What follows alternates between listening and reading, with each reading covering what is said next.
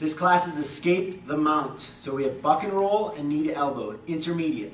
So we're going to do the high and low for buck and roll, or for knee to elbow, and then we're going to work a little more into the uh, into the buck and roll. First of all, the movements they have to have.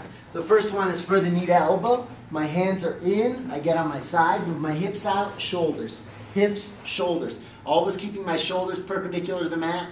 Never doing this. Flat again. So they're going to go all the way across the mat on this side, then they're going to go all the way across the mat on this side, just so they get that movement. Okay, the next drill that I like to make sure they do well is for the buck and roll. When they're here, they're in, they trap the arm, they've trapped the foot, they're going to lift their hips as high as they can.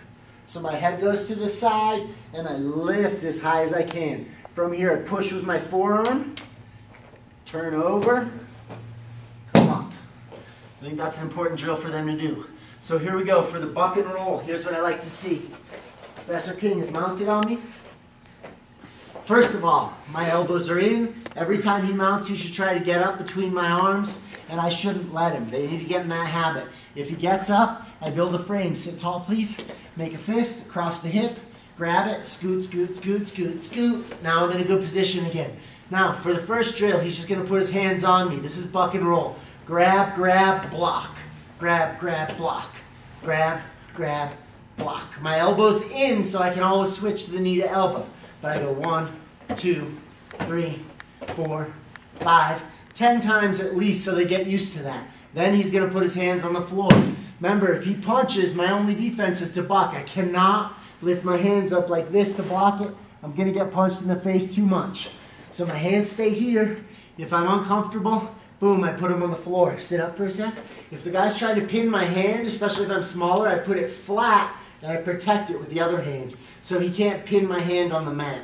So he tries to go on the other hand, swim over. He tries to go on the other hand, swim over. So I never let my hands get on the mat like this. Also, when he tries pushing, if I'm uncomfortable at any point, I just lift my hips. It makes him put his hands on the floor.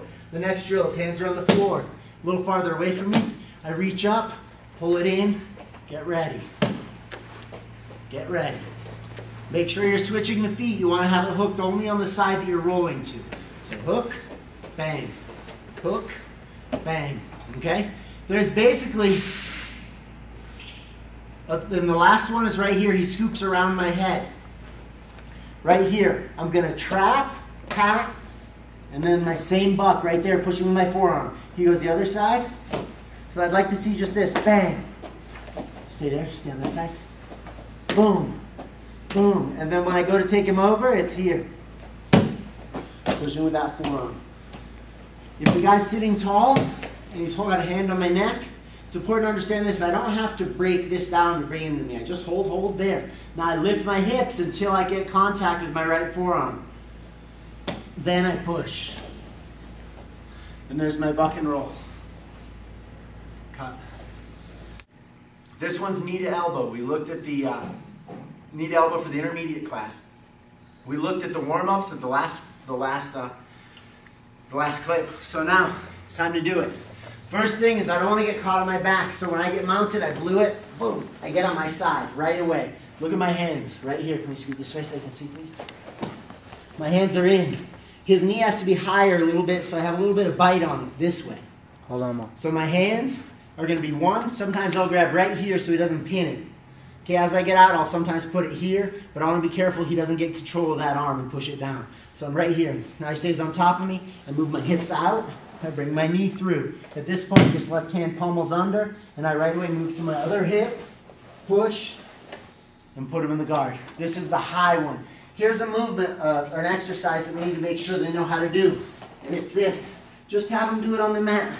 Reach over, now I'm going to pull my hip all the way through to the other side. Reach over, other side.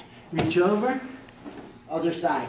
You can't do this without it because I get in, hips, shoulders, reach. Now I got to get all the way to the other side if I'm not going to get stuck in half guard. So it's right here, look. Boom, pummel push. And then I'm there. Good, next is the low. The deal with the low mount is I have to win the fit battle. So the foot battle, if he grapevines, I extend, then I'm looking to trap a foot and get my foot flat on the floor. My other one's curled tight so we can't hook it. From here, I don't need to get my shoulders should be able to stay flat on the floor. I tilt my hips, reach with this hand, and I scoop as I push. Now same thing on the other side. So here we go again. I trap his foot, put it flat, turn my hips, scoop, pull it over, and push. This is not something I put in the class unless it was a pretty advanced class. But if his, if his arch is real flat on the floor, so I can't scoop, I'm doing this and I can't scoop, then sometimes I'll go like this to pick it up. Now I'll come under, now I'll grab, now I'll do the same thing. So the battle of the feet, to get your feet in position so they're ready to be able to escape, is the biggest battle for this class. Um, once again, as I always say, make sure they have 20 minutes of drilling and stuff that's fun.